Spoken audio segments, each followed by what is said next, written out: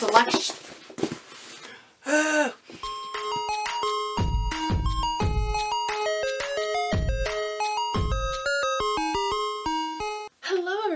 It's your girl Jay and I'm here on week like 1062 of self-isolation and I'm sure I'm the same as a lot of people and we're just binging books right now so I thought that I would come on here and recommend some binge-worthy series for you all. I picked out seven series. A lot of them are on the lesser known side I would say but there are a couple that are kind of popular. The ones that are more popular did come out in like 2012 so you know it's time for a reread so without further ado let us get started so I'm going to talk about the more like popular series now just to get them out of the way so that if you guys don't want to hear about them just like skip forward I guess. The first series that I have Netflix actually just picked up for a TV show so I figured it is about time for a reread so everyone can refresh their memories on what happens in this series. But it is the Selection series by Kiera Cass, Selection, The Elite, and the one i'm not even going to talk about the other books in the series because they were just not needed in my opinion so forget about them. But this is basically like the bachelor in book form and it is just such a guilty pleasure read for me. You fly through the books so quickly they're just a lot of fun. So i thought i would include them on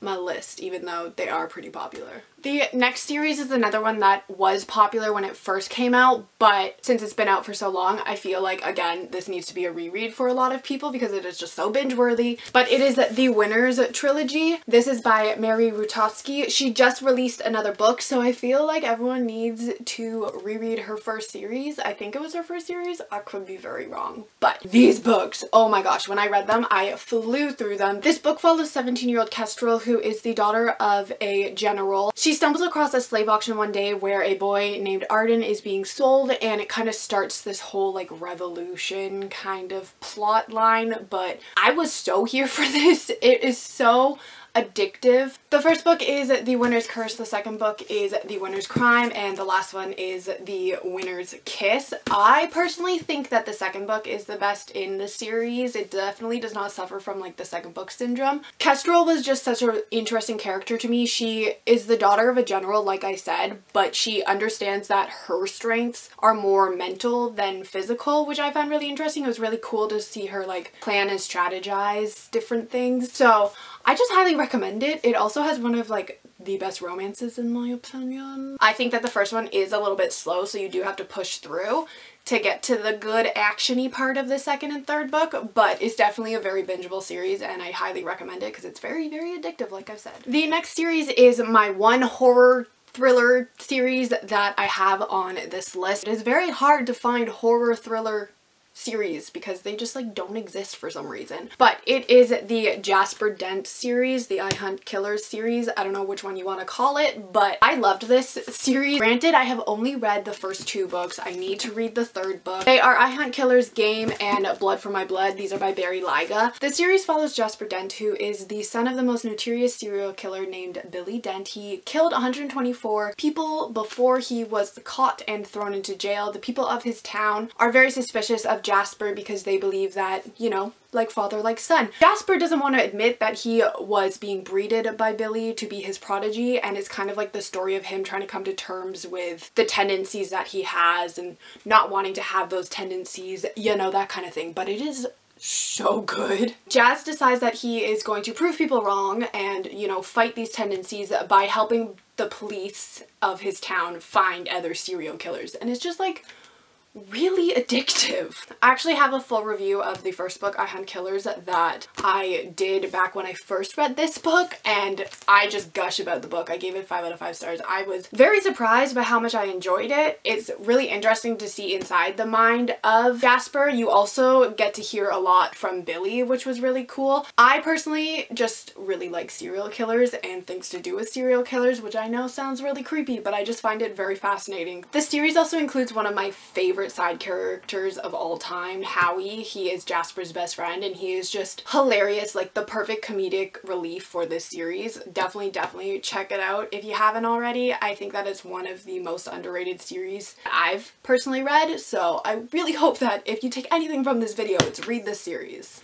The next series, I don't know if I would call it a series because I think they're more companions, like they follow the same company of characters, but it's a separate story, if that makes sense. They're also graphic novels. I thought I would throw something that's not like your typical formatted book because, you know, people don't only just like to read novels. They are the Adventure Zone graphic novels. This follows a Dungeons and Dragons style podcast that the McElroy brothers and their father have, and it basically took those podcasts and turned them into graphic novels, but they are so funny. It follows the same three characters in each of them. There's actually a third one that was recently released or is about to be released. I'm not 100% sure which one is accurate on that statement, but the first one is Here There Be Gerblins. The second one is Murder on the Rockport Limited. They follow the same cast of characters like I said, but they're two different stories. It follows the three same characters, Taako the elf wizard, Merlin the dwarf cleric, and Magnus the human warrior. He is my absolute favorite. He is basically the human form of a golden retriever. I just love him so much, but, but these graphic novels are just such a fun time and you fly through them because they're just so funny and the characters are just so adorable and just like honestly relatable, which is weird because they're Dungeons and Dragons characters, but like you find a little bit of yourself in each of them and they're just, I love these graphic novels. I think they're definitely 100% one of my favorite graphic novels of all time. Which reminds me, if you guys want me to make a graphic novel video because I have a lot of them, let me know because I kind of want to make one, but if it's not something you guys want to see, then I won't. Okay, the next series that I have definitely a very old series and I would not say that it was necessarily a very good series, but definitely bingeable, very addictive because you just want to keep reading because you're so confused about what is happening. It is the Burn for Burn trilogy by Jenny Han and Siobhan Vivian. First book is Burn for Burn, second book is Fire with Fire, and last one is Ashes to Ashes. And it's basically a high school revenge plotline with a little paranormal twist thrown in there, and it is just weird honestly. I went into this thinking that it was one thing and then by the third book it is something completely different that you just do not expect when reading the first book. So it was just a very interesting ride. It was like a roller coaster. I read these back in like 2016 so honestly you know, they might not be that good of a book. But from what I remember in my little, how old was I in 2016? 24 minus I can't do that math, I'm dyscalculic. But I was younger. But it is just like one of those series that took me by surprise because it wasn't what I expected. So if that's something you're into, read it. I'm not saying it's good, but it was a wild ride. Okay, so the next series that I have are a little bit controversial on booktube, but I will put the disclaimer, you know, I understand people's opinions and how they feel about the book, but I personally really enjoyed them. Moving on.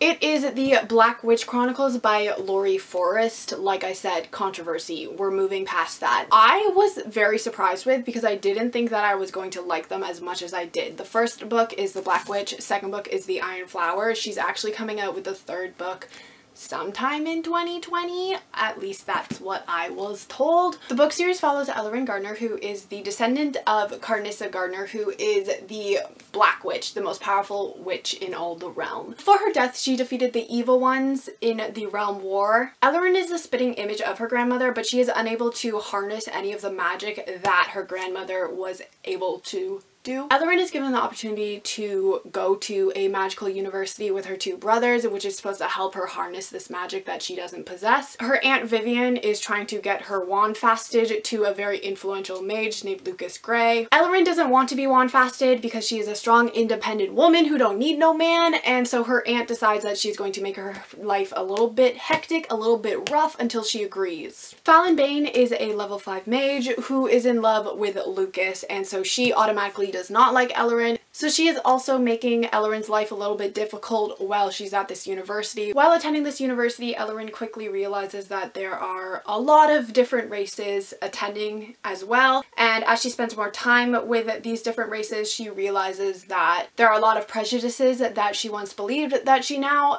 is beginning to change her ways and it's like the story of that. So I think that this book is a lot more complex than I originally thought going into it. There are so many things that you need to keep track of, the different races, the different characters in general, and what race they belong to, and what prejudices each race has against each other. It is a lot, but it was really entertaining, which I didn't expect. I went into it with very low expectations because of all the controversy that was surrounding it. But I highly, highly recommend everybody reads it for themselves because it's actually really addictive. And I sped through the first book, which like is a chonker and I sped through the second book and it is also a chonker and I'm actually really looking forward to the third book. If you guys are interested in like my full thoughts on these books because I do have a lot of them then let me know down below and I'll make the review but I know that's a really controversial series, but personally I really liked it. And then the final series that I have to talk about, I've only read the first two books. I've heard that the third book kind of goes downhill, but it is the Themis Files, Themis Files, I'm not 100% sure how to say it. They consist of Sleeping Giants, Waking Gods, and then the third book is Only Human, I believe, but these are by Sylvain Neuvel. And this basically follows a scientist named Rose who, when she was a little girl, she fell into a hole while biking. She ends up falling onto a giant robot hand and then years later she is assigned as like the head scientist of trying to discover what this giant robot does, where it came from, you know, that kind of thing. And I listened to these books on audio. Highly, highly recommend you do that if you are going to pick these up. They're told in interview format, kind of like Daisy Jones, but like sciency. And it also has like journal entries from the different people in this corporation. The audio version that I listened to was a full cast audio. So it was just really interesting to see how the voice actors interacted with each other and portrayed their characters. I think that it gave a lot of personality to the characters that you wouldn't get if you were to just read it physically. So I definitely recommend listening to it on audio because I think that it made it a lot more fun. I threw through these books in one day, like both of them in the same day because I just needed to know what was going to happen next. The first book leaves you off on such a cliffhanger that you need to immediately pick up the second book. The second book was good, but I don't think it was as addictive as the first one. Like I don't feel the need to go pick up the third book, but like I said, definitely listen to this one on audio. Alright everybody, so that was my binge-worthy series video. Um, let me know down below if you've read any of these books, what you thought of them. Let me know if you want another binge-worthy series because that's apparently what I'm into right now is just binging series. So I'm sure I could come with another one if y'all are interested. And I will see you all in my next video. Goodbye!